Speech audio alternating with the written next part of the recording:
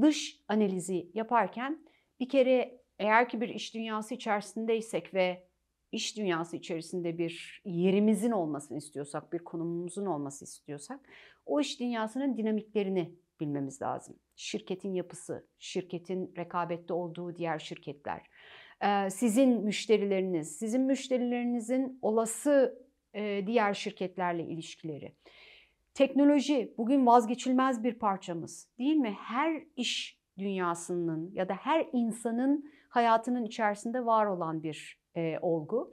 Özellikle de artık bu e, akıllı telefonlar dediğimiz telefonların hayatımıza girmesiyle bir kere e, birleşik ya da bütünleşik bir dünyanın içerisinde var olmamız. Sadece elimizdeki akıllı telefonlar değil artık arabalarımız da akıllanmaya başladı, evlerimiz de akıllanmaya başladı.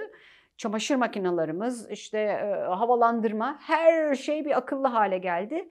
Diğer taraftan işte sosyokültürel değişim. Birazcık bahsettiğim ya jenerasyonla değişim var. Yani bu ne demek? Gelecekte müşteriniz, olası müşteriniz ya da olası, olası danışanınız ya da olası işbirliği içerisinde bulunacağınız herkesin aslında sizin gibi düşünmediği, sizin değer yargılarınıza sahip olmadığı farklı bakış açılarıyla yetiştiğini, geliştiğini görebiliyorsunuz.